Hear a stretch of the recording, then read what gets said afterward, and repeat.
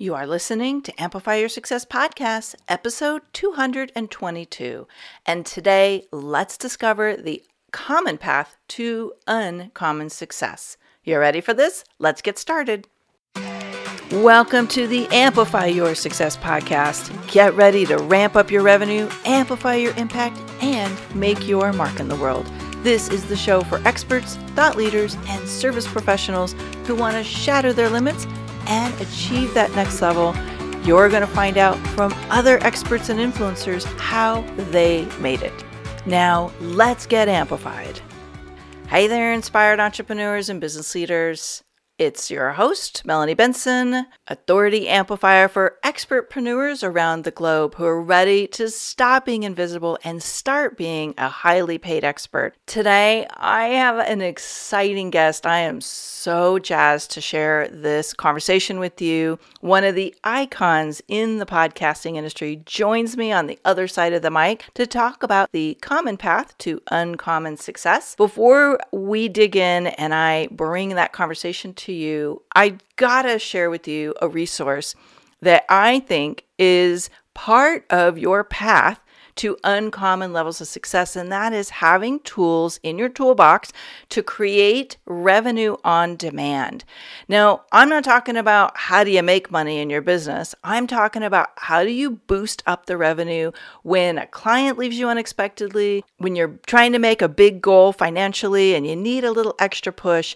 Having tools in your toolbox that can ramp up and accelerate your cash flow on demand. Every entrepreneur needs to have this tool in their toolbox. So head over to yourrevenuerush.com, download the free toolkit, and put one of these into action in the next 30 days, then come tell me how quickly it's working for you. Again, that's yourrevenuerush.com.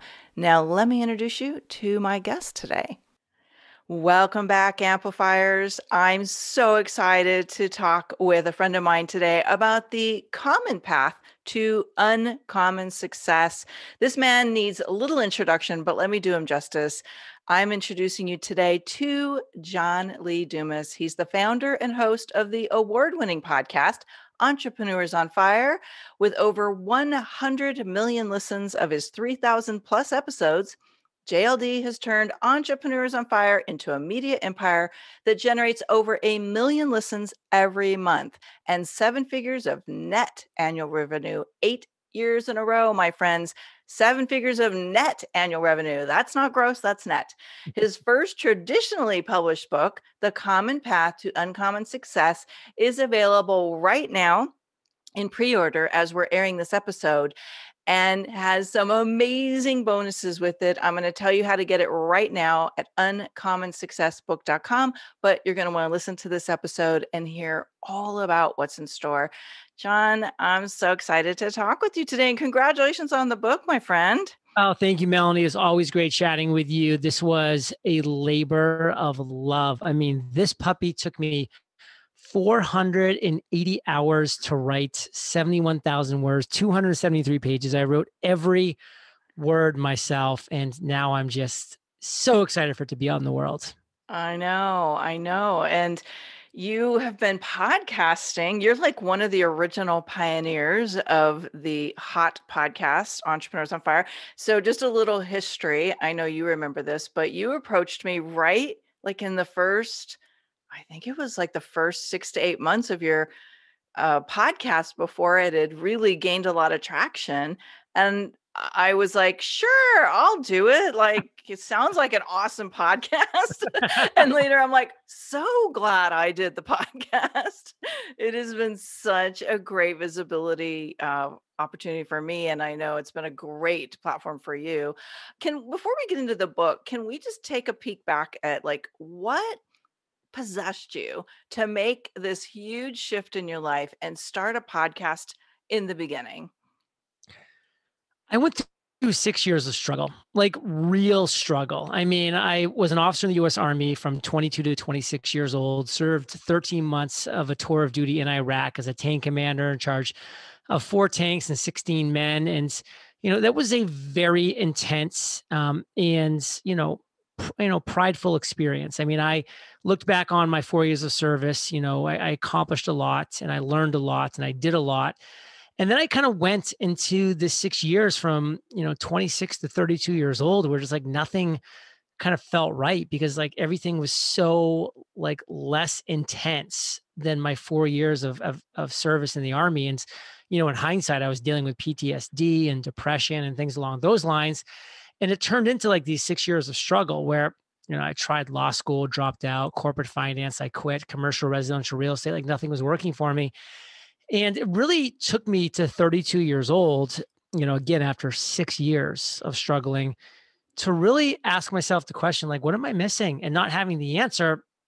So i started just consuming content specifically like reading books listening to audiobooks and it led me to a, a, quote that I read in one of those books from Albert Einstein, which literally reached out of the page and like slapped me in the face, which was try not to be a person of success, but rather a person of value. And I was like, wait a second. I've literally just been chasing success and trying to be a success for six years now, you know, failing and unhappy and unfulfilled and I haven't even thought about becoming a person of value. Like, what does that even mean? And of course, I haven't been doing it because I don't even know what that means. And in that moment, I just committed, even though I didn't know what that was going to look like. I was just committed to the idea of, for the first time in my life, becoming a person of real value. And that just planted the seed. I didn't know what was going to come. But three months later, I said, Hey, I wish there was a daily podcast interviewing entrepreneurs. I would listen to that show. And it didn't exist. So I said, why not be the change you want to see in the world? To quote Gandhi here, and I hired a mentor, Jaime Masters, a successful business podcast coach, and I said, "Hey, teach me how to become a successful business podcast host." And I launched the first daily podcast interviewing the world's most successful entrepreneurs. And here you and I are, 3,000 episodes later, 100 million listens later, 1.4 million monthly listens currently. And uh, it's been quite the journey. Yeah, I bet. Well, you're a pioneer for many of us. A, uh, you know, we we all aspire to have the level of impact you're having. So thanks for leading the charge there. And now you're channeling all of this extraordinary life and business uh, wisdom into your book. You know, let's take a step back because you and I we've been in the online business a while now. Uh, I, I'm actually 21 years this year, so uh, I've seen a lot of uh, movement in how people are showing up online.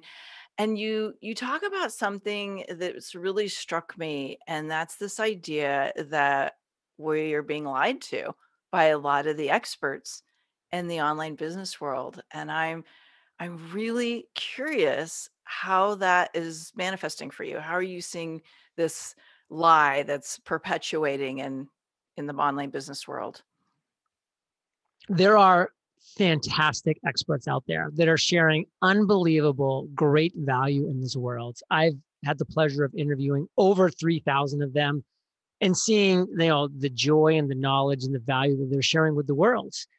And then there is another sect of people who I like to say are the so-called experts who you know, unfortunately, are sharing something different than just the value that I'm seeing, you know, the successful and wonderful entrepreneurs out there and experts are sharing. And a red flag is when you you hear stuff like, you know, listen, the path to success, it's hidden, or it's a secret path, or it's complicated, or, you know, only certain people will ever, you know, be able to achieve this level of success. But here's the key you know, that I have for $1,997.97. And listen, I'm all about generating revenue. I've been publishing my income reports for 91 months in a row, $100,000 net profit or more for 91 months. You need to make money and generate revenue as a business owner. But I think there's a right way to do it and a wrong way to do it. And I've identified by interviewing 3,000 successful entrepreneurs and then running my own multi-million dollar successful media empire for eight years in a row now that the path to your version of of uncommon success it's a common path.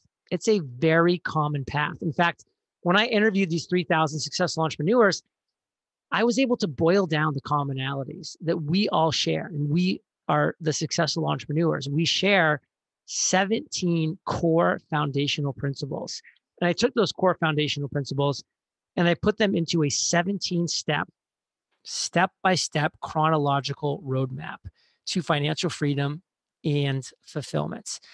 And that's why I call this book the common path to uncommon success, not the complicated path or the or the hidden path or the secret path. This is the common path to uncommon success. And that's what I want for people. That's what I really want people to understand is that it is a common path. Now, Melanie, you've been in this game for 21 years. People need to understand that common does not mean easy. It is a hard path. If you are not willing to work hard and to put in the hard work that it takes to become an uncommon success, don't buy this book. Don't start this journey.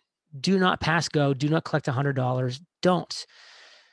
But one thing I want to let you know is, you know, you need to realize that there's multiple things that are hard in this world. Like it is hard to run a successful business. It was hard to launch this business, to grow this business, to monetize this business. It was hard work. Melanie has worked hard in her life. Every successful entrepreneur that I've interviewed has worked hard. But you know what else is hard? It's hard being broke. Like it's hard living paycheck to paycheck. It's hard waking up every single day unfulfilled, unmotivated, disappointed in yourself because you're not achieving what you know you're capable of doing, which by the way, I lived for 6 years. Those 6 years of struggle that I mentioned. And at 32, I came to a fork in the road and I said, do I go left or do I go right? The left path, it's a hard choice because it's building my dream business. But the right path is also a hard choice, continuing to be broke, to be unhappy, to be unfulfilled and depressed. So, what did I do? I chose my hard. And I believe everybody watching and listening to this can as well. Mm, I love that line. You chose your hard. Yeah, it's almost like we get to choose which which uh, what are we going to get at the outcome of the hard that we're choosing. And I love what I get every day. Like I wouldn't change my hard for anything. Well, I wouldn't mind it being a little easier some days, right? it gets easier. That's the thing. I mean, it does. I'm a big believer in like we go through seasons. Like the first season of my business was the hardest by a long shot because I didn't know what I was doing. I didn't have a name. I didn't have a brand. I had to learn so much. Like season one of my business, let's say years one through three, it was hard. Seasons four through six, hey, I was still working hard, but it was definitely a lot easier. I had a team, had an understanding, money was rolling in. It just wasn't as hard. Season three, right now, you know, where I'm at, it's like I work five days per month. Like, I'm going to be honest with you, that's not super hard. Um, working five days per month. Now, those five days I am working all day. I mean, those are busy, busy days, and I've really dialed it in and drilled it down. But the other 25 days per month, I'm doing other things. Like, what do I want to do? I'm working on my health, my my wellness. I'm traveling the world. I'm doing other fun things like playing pickleball. I mean, like, you know, that's the business I'm at now. And so your business can and will go through seasons, but it's all dependent on like really identifying, and this is key, like identifying like what does uncommon success mean to you? I mean, Melanie, my business has been generating between two and three million dollars for eight years. Some people would be like, well, why aren't you making 10 million by now? Like you've been doing this forever. And I'm like, because I'm not willing to trade working five times harder for three times more money. I don't want to be running a team that's 20 people or 50 people. Like some people want that and good for them. You should go get your uncommon success. I have three virtual assistants that work 40 hours a week, $4,000 of total salary, you know, that, uh, that my business runs on. And that's the kind of business I want to run. That's the kind of team that I want. That's my version of uncommon success. But the sad thing is, most people never even take a second to sit down and identify what their version of success is. So they're running a race. They don't even know what what destination they're running to. They're just running, and it never stops for some people. Mm, I totally agree. Start with the end in mind, and it makes the choices you just or the decisions you make much more effective you know, I think we both know that a lot of entrepreneurs get into this game and then totally fail. Uh, having interviewed so many people and coached uh, probably just as many, what do you think is contributing to such a high rate of failure? One thing they're not identifying their own personal big idea in this world. Mm.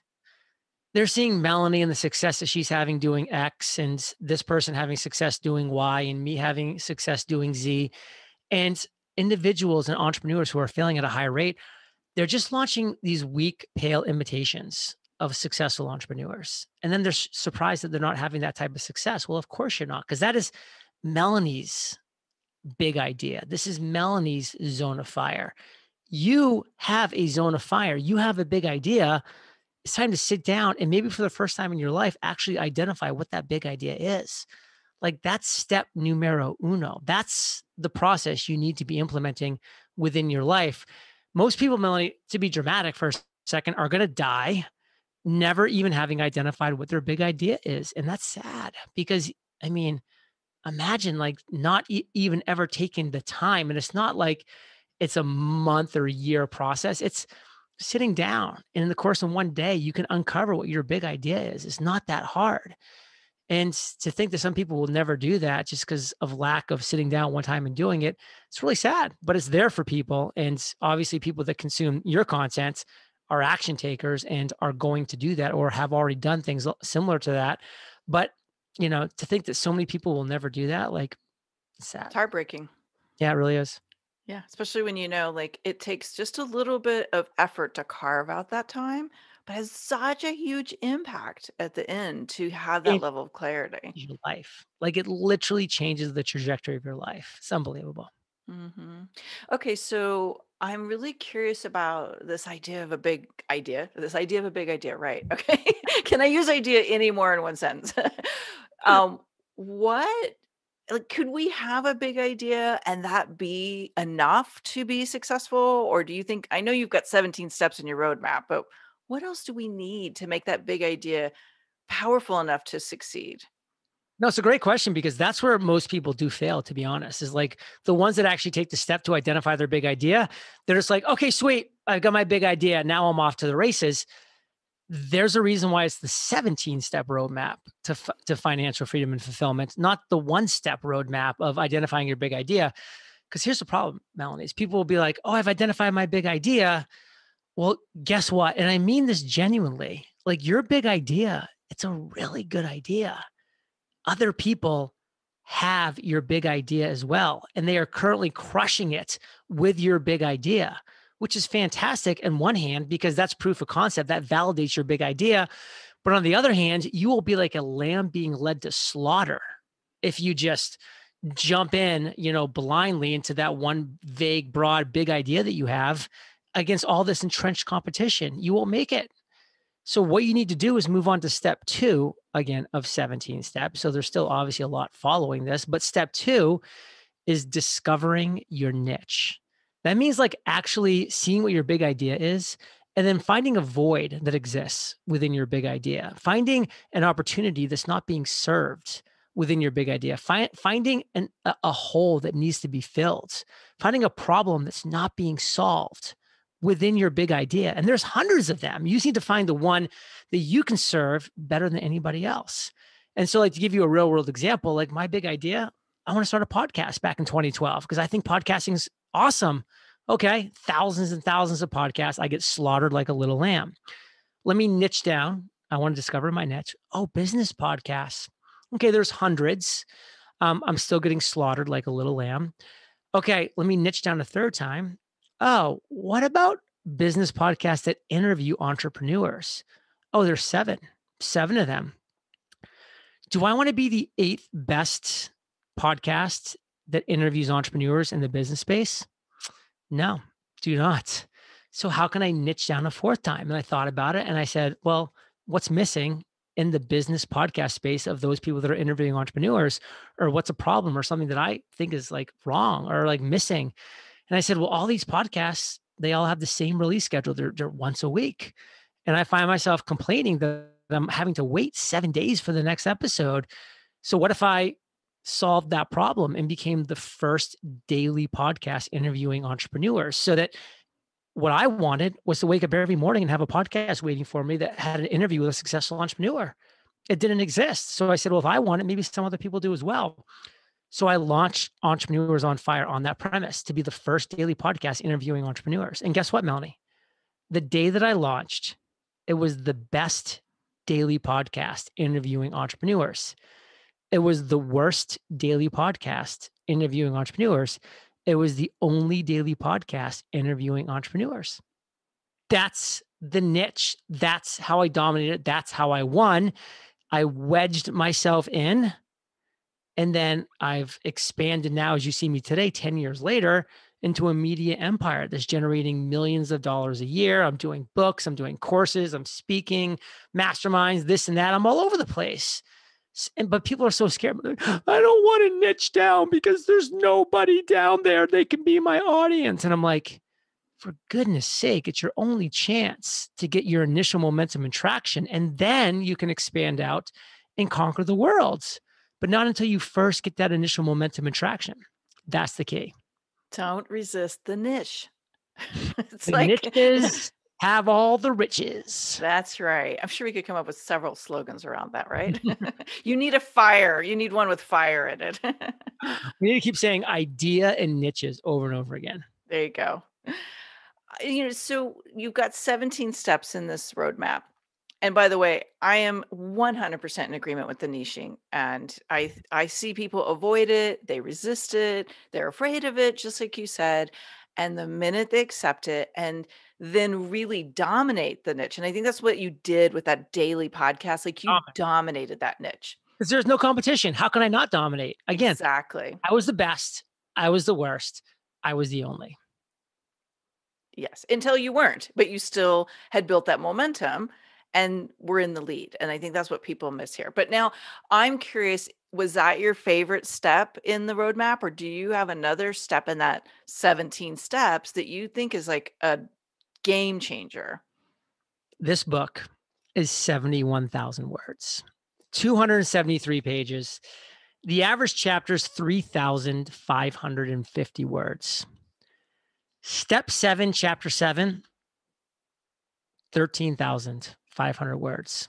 That chapter alone could be a business book. It is a beast of a chapter. And I'll tell you, it is such a critical step in the 17 step roadmap designing your content production plan. It is the reason, absolutely, without a doubt, why Entrepreneurs on Fire has turned into the media empire it is. We have a fantastic content production plan. It used to be terrible. Now it's fantastic. A decade later. Almost every single person who's listening or hearing this right now, you have a terrible content production plan. Take my word for it. I'm telling you the truth. You need to hear it. It's terrible. And it's the reason you're far underperforming what you can and should be performing at right now. But no fear, 13,500 words later, you'll actually know what a fantastic content production plan looks like. And for the first time in your life, you'll be able to have one. You'll be able to implement it yourself. You'll be able to, to design your content production plan, and it will blow your mind and it will change your life forever. I love that. Getting having a plan, clear action that you take is a game changer. And being able to apply it to your content, stellar. It's I'm, I'm excited to read that. that nobody does it. Yes, they're not willing to take the time to organize their thoughts and their their actions at, at that level of minute detail. And but it is a total game changer. Takes time. Yeah, total totally game agree. changer, and it's a commitment up front to to a time commitment, to a mental bandwidth commitment. But the time it saves, like in the years to come, it's the reason why I only work five days per month. is because my content production plan is that good. Mm-hmm. Yeah, I agree. I I I think it's a game changer too. I have so many things I want to ask you, but you mentioned something earlier and I want to come back to it because I think it's again one of the things that has set you apart in our industry. And I have admired it, John, ever since I saw you uh, starting to operate like this, this ultimate complete transparency about your earnings, about your process, about your motivation. And and when you started publishing your your uh, earning reports, I was like, that's freaking awesome. I'm kind of curious, you know, what do you think being transparent like that has done for you on this common path to uncommon success? Because it's certainly not common to do that. So back in 2012, I was looking around the entrepreneurial world, like thinking, where could I fit in here? Like, what could I possibly do? And at the same time, I was like, can you even like genuinely make money on the internet, not being a slimy scam ball? I just didn't know.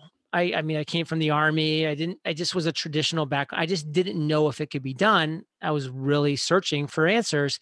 And I came across this guy, Pat Flynn, Smart Passive Income, and he was publishing monthly income reports. And I was like, wow, this is unbelievable. This is so inspiring. This is a good guy, a family guy who's just showing that it can be done and, and how he does it. And this is really cool. And I remember just making a pledge in that moment saying, if I ever find a way to make money online as an online entrepreneur in whatever capacity that is, I'm also going to share with my audience that kind of transparency, that kind of hope, that kind of inspiration, that kind of guidance. And so when we started generating revenue and significant revenue, we started publishing monthly income reports. And I bring my lawyer in to share a legal tip. We bring our accountant in to share a tax tip. Like we try to make them super valuable, like just overall value bomb posts to be super helpful. And we release them as, an, as a podcast income report as well to talk about it. And you know, it's it's our it's our most visited site on our entire uh, blog. I mean, people wow. really get a lot of value out of seeing how we make money, where we make our money, where we put our efforts in, where do we spend our money, what you know tools are we using. Everything's there. Every every penny is accounted for. You know, Kate's the machine behind that, and she's published and we've published you know now 91 consecutive monthly income reports. Wow. And, and it doesn't stop at your earnings report. I mean, we don't have to deep dive into this, but I just I really want to acknowledge this, and and for our, the Amplify community that's listening in today, like you know, John has been transparent about almost everything. Like I've seen you post on Facebook about, you know, bullies and online trolls that have attacked yeah. you and and um, you know, you've talked about the failures. I get to share this troll. Lovely. Exactly. It's, I shall you. expose you. you know, it's like that's that takes some balls to be willing to talk about the failures and all of the the the junk as well as the successes and I think as we look at uncommon success, but common paths, like I would love for us to flip our worldview from these things being common instead of uncommon. And so, again, I think you're a way shower there. I like that word way shower. I don't think I've ever heard that before. Yeah, those that's that's the trailblazer. You know, mm. we you you part of your big idea that maybe you don't even realize is that you are taking a path of exposing how, what real entrepreneurship is instead of the illusion that so many people build up. And that's what makes you the amazing leader in our industry that you are. Like when I was in the army, I always so admired the commanding officers above me, you know, who were there, who were working out with us, who are training with us, who are showing us the way that, you know, who are sharing with us their faults as well as their successes, you know, their experiences. And on the flip side, I always, you know, frankly had no respect for the commanding officers in my chain of command who were the opposite, you know, who are non-existent, who are guarded, who are always trying to, you know, pretend that they were perfect. And I always, you know, kind of dedicated myself to kind of following that first model of just, you know, listen, I want to be a leader. I want to show the way. And part of being a leader is just being open and honest about both sides of the equation, the good, the bad, and the ugly. And just opening up the kimono and showing what what's working, what's not, and hopefully you can emulate our successes and hopefully you can avoid our failures. Like that's the goal of my business. Mm.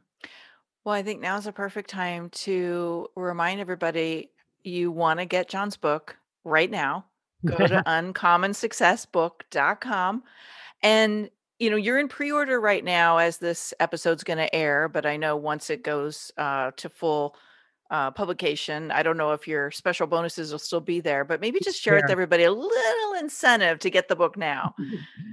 Don't wait until March 23rd. Um, if you're listening to this after March 23rd, you're awesome. Just go buy the book. You'll love it. If it's before March 23rd, don't hesitate because we have five insane pre order bonuses. Uh, just one of the bonuses, by the way, we are literally gifting you all three of our journals the podcast journal, the mastery journal, and the Freedom Journal, just making this an absolute no brainer. Um, right now, we're actually shipping all three um, to your door if you're in the United States. Um, if you're outside, we're giving you immediate access to the digital versions, which are beautiful digital packs.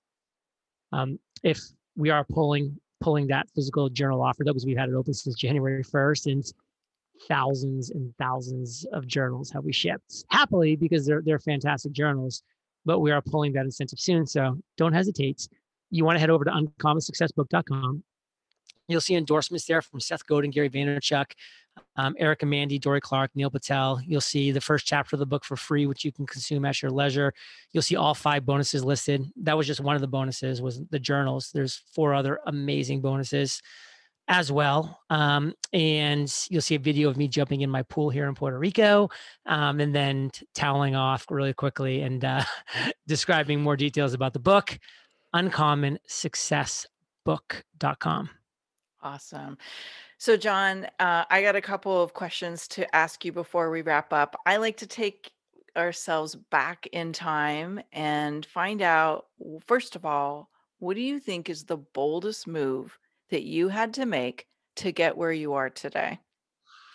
I hired a mentor to um, mentor my podcast launch, Jaime Masters of the Eventual Millionaire. I hired a uh, accountability leader, Cliff Ravenscraft. To he had a podcast mastermind that I joined, and they were the leaders in the podcasting space, and they both unequivocally, with no shadow of a doubt, said, "Do not launch a daily podcast. It will fail. You'll get burned out. You won't find enough guests. You'll get your guests will get burned out. It will fail. Don't do it." And I had to stare down the industry giants and just say, hey, my vision is a daily podcast and I'm sticking to it. And it was a bold move. But to be honest with you, I don't know if you're in the Enneagram world at all, but uh, I'm an eight, I'm a challenger. So uh, I like to challenge authority, always have. That's why I wasn't a lifer in the military. That wasn't going to quite work out very well. And also, I did come to this like click realization that wait a second, if the best people in the industry right now tell me that it can't be done and I and I figure out a way to do it, think about that. Like that's opportunity. And that was bold. That was bold. I love that you shared that one too because doing what is the opposite of the trend or what your mentors are saying and knowing in every fiber of your being i have to do it this way. I feel called to do it this way and standing behind that that is what leaders do that propel them. Now of course you got to follow through right? And if you if it hadn't worked you know you would have pivoted i'm sure but wow what a great example of a bold move. Okay second question john. Looking back in your trajectory 10 years ago to now what is one thing you wish you would have done sooner that you know would have helped you maybe help more people or get more of what you wanted out of your business I wish I would have written a book sooner. You know, I waited a mm. long time to write a traditionally published book, and it's been a fantastic process. It's been one of the most challenging things I've ever done. And I'm a big believer that all the magic happens outside of your comfort zone. And so many people just, you know, find themselves living way too long in their comfort zone. And and this was something that got me outside of my comfort zone. So I'm I'm super proud of it. You know, I, I didn't know how hard it was going to be or how just satisfying it was going to be and had I known, I would have done it sooner. I love that. I, I'm I'm kind of joining you on that one. I've been dragging my feet too. so you're my inspiration today, John. Do Get it. my button gear. Do it. I've got an amazing agent for you. Oh, good. I will be reaching out. John, thanks so much for joining us. I am so excited to uh, get the book myself and read the whole thing and just congratulations on so many big achievements and getting the book out of you and out into the market. I know how much you put into that. Thanks, Melanie. I really enjoyed chatting with you today. It was a pleasant conversation. I hope your audience enjoyed. Oh, they will. And I'm sure as you're listening in, you're going to have some big ahas. Make sure you join us in the Amplify Your Authority Facebook group. I'm going to be starting a dialogue there. And again, reinforcing the principles that John is sharing in this book. So get the book and let's talk about it in the group. Thanks for tuning in today, Amplifier. Be sure to join us right now in the Amplify Your Authority community at authorityamplifiers.com, and I'll share my seven proven tips to be a highly paid expert that stands out in a crowded market. Plus, we're going to keep this conversation going, and I want to hear from you how you're going to amplify your authority and make a greater impact. Before you go, please take a minute to give our show and our guests some love over on your favorite podcasting platform. Subscribe, rate, and review. Leave your full name, and I'll spotlight you and your authority on social media.